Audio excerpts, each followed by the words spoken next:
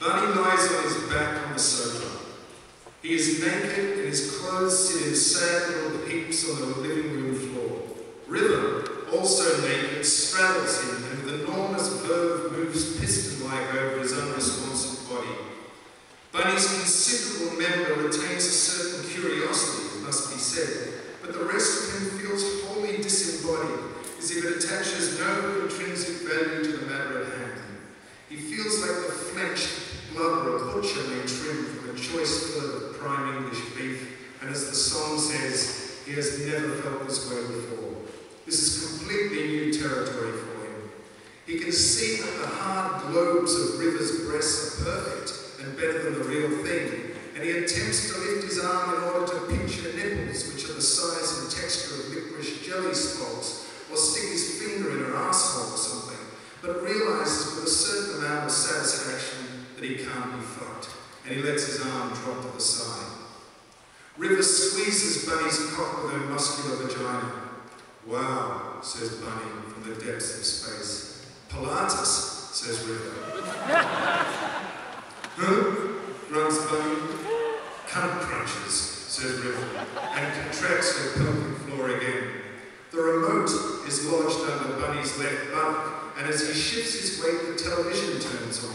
Bunny's head lolls off the edge of the sofa, and he sees, upside down, CCTV footage of a horned killer with his trident terrorizing shoppers in a Tesco car park in Birmingham.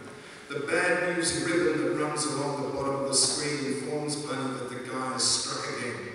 Earlier that day, he had walked into a shared accommodation in Wardsley Green and butchered two young nurses asleep in their beds at the garden floor. There is general panic in the Midlands. The police continue to be baffled. He's just getting started, mutters Bunny, the flicker of the TV reflecting in his upside down eyes. And he's coming this way. River, however, is lost to a gesture of altruism and does not hear. Bunny lifts his head and looks at her and sees that River's face has changed somehow. There is a bout of hubris and self-admiration she picks up the rhythm, up the rhythm what she would consider to be, come morning sober-like, basically a sympathy fuck. Oh, she says as she pounds her bulletproof pussy down. You, she says, her pistons firing, poor, poor man. Bunny is about to close his eyes when he sees, by the window, hidden in the folds of the rose-colored chenille curtains, what appears to be his deceased wife, Libby. She is dressed in her orange nightdress and she is waving at him. Spooked, he makes a hopeless, wounded sound, opens his mouth and releases a hiss of gas as if his very soul was escaping, and then bucks frantically at River in an attempt to dislodge her, which is just what River needs to send her over the edge. Bunny, trapped in the vice of her climaxing haunches, squeezes shut his eyes. River screams and digs her nails into his chest. Bunny opens his eyes again, looks wildly around, but Libby, his wife,